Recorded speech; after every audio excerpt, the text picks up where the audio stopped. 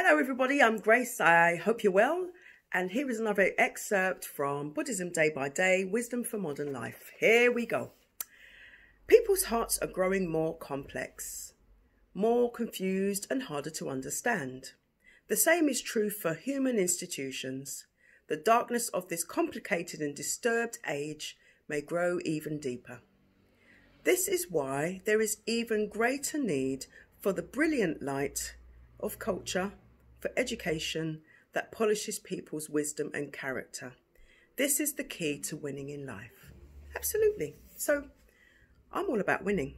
I'm not about arguing or winning an argument.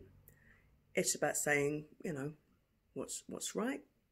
Um, if I ever make a a mistake, I own, own, up, own up to it. Um, but it's about using our wisdom, really, and um, let's win in our lives. And yeah, our, you know, people's hearts are complex because the world is very complex. You know, we've got a lot of information, um, lots of information actually, more information than there were maybe a hundred years ago. And, um, you know, the world can sometimes, sometimes be quite dark. And I choose to see the brighter things in life.